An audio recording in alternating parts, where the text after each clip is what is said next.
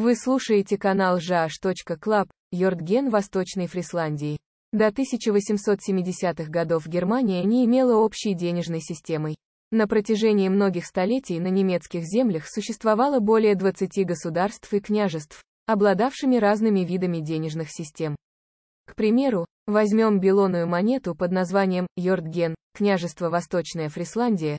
Этот денежный знак мелкого номинала, равный 1 четвертая части стюбера, широко был распространен в 1654-1744 годах на землях побережья Северного моря, где жили фрисландцы или фризы, принадлежащие к нижнегерманским народам.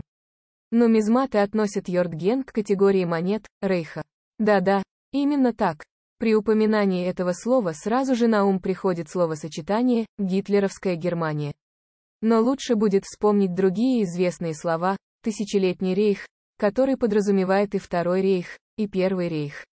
Рейх – это, проще сказать, совокупность земельных мелких владений, находящихся под руководством главной власти большего порядка, империи, державы.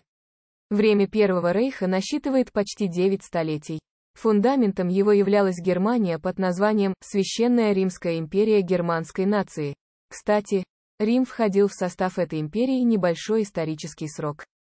Субъектами империи были в свое время княжества, герцогства, аббатства, вольные города. Их денежные системы в то время основывались на серебре, серебряный монометализм, были исключения, вольный город Бремен обладал золотым талером. Потом появился биметализм, государства стали выпускать луидоры, дукаты, фридрихсдоры, пистоли как из серебра, так и золота. Стоимость между этими металлами устанавливал рынок под контролем феодального государства.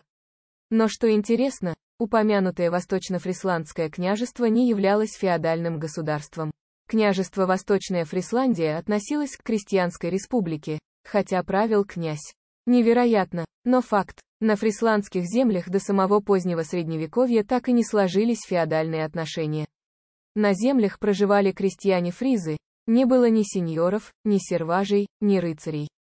Прибрежные крестьяне проживали и сами собой управляли, и так на протяжении многих веков. Свой общественный строй они называли «фрисской свободой». Их окружали воинственные соседи, которые не прочь были, бесхозные, земли присоединить к своим княжествам. Но воевать, особенно конницей, в этих болотистых местах было крайне тяжело, да и сами фрисландские крестьяне знали толк в стальном мече и скорострельном арбалете. Фрисскую свободу признавали в Священной Римской империи.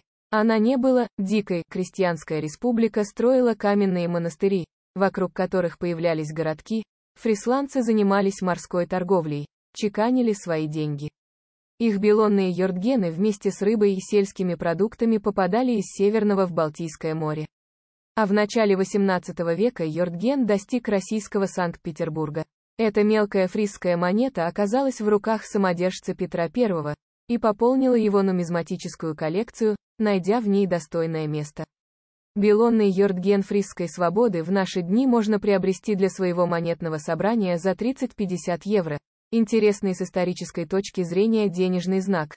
Особенно когда читаешь с помощью увеличительного стекла надпись на его поверхности OSP и SMIO CHRI и BP и ODE, где каждый знак и интервал между ними имеет свое особое значение.